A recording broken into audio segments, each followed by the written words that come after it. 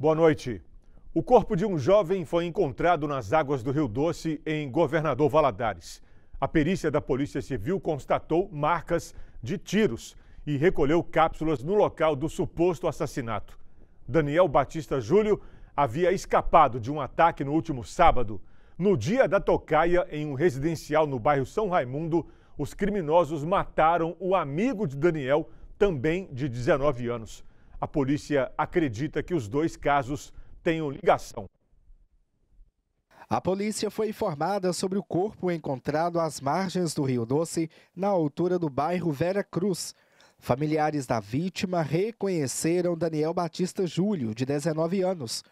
Militares do Corpo de Bombeiros acessaram esta propriedade particular para retirar o corpo. Segundo o boletim de ocorrência da Polícia Militar, Daniel Batista era uma das pessoas que conversavam com um homem de 19 anos que foi assassinado no último sábado em um conjunto habitacional no bairro São Raimundo.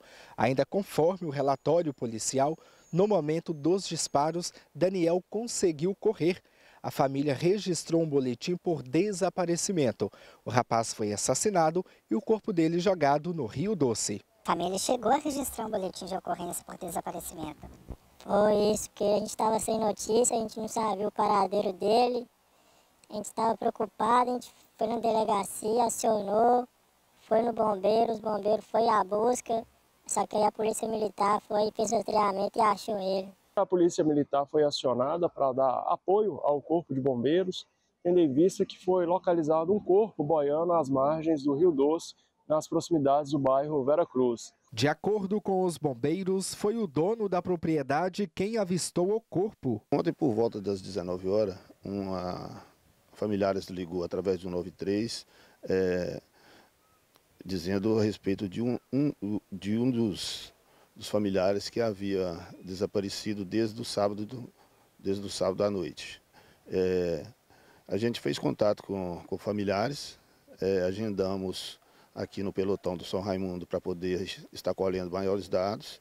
Enquanto a gente colhia dados dos familiares, nos foi informado que surgiu um corpo às margens do Rio Doce. Foi o proprietário do sítio que informou a Polícia Militar e a mesma nos acionou o momento que a gente já iria fazer contato com ela também para apoio nessas buscas. No local, a perícia da Polícia Civil encontrou esta cápsula de pistola que será objeto de investigação. A equipe constatou várias perfurações provocadas por disparos de arma de fogo no corpo de Daniel, que foi encaminhado ao IML, Instituto Médico Legal de Governador Valadares. É muito triste né? perder alguém, né? perder uma pessoa que a gente ama. E tá aí mais uma prova que esse mundo a gente não pode confiar em ninguém, a gente não tem amigo. A gente tem que andar só mesmo, porque é melhor só do que mal acompanhado.